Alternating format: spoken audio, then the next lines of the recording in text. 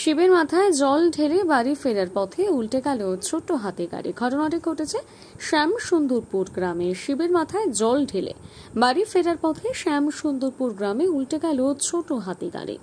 ঘটনায় জখম তেরো জন। বাগেশ্বর জিওর মন্দির থেকে জল ঢেলে ছোট হাতি গাড়িটিকে তিরিশ জন বাড়ি ফিরছিল। সেই সময় নিয়ন্ত্রণ হারিয়ে উল্টে যায় গাড়িটি। ঘটনায় জখম তেরো জনকে পুলিশ ও স্থানীয়রা উদ্ধার করে নিয়ে আসে।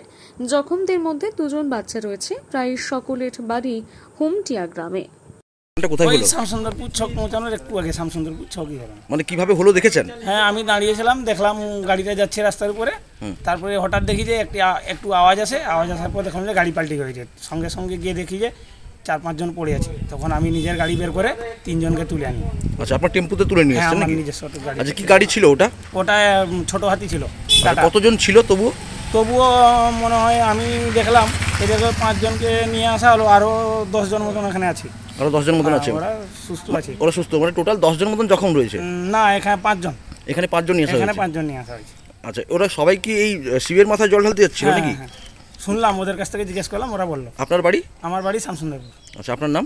তাপস সেনাপতি। আপনি এদেরকে কিছু জনকে উদ্ধার করে নিয়ে এসেছেন? এই তিনজনকে নিয়ে আসছি। আচ্ছা কোথায় গিয়েছিলেন আপনারা জল ঢালতে?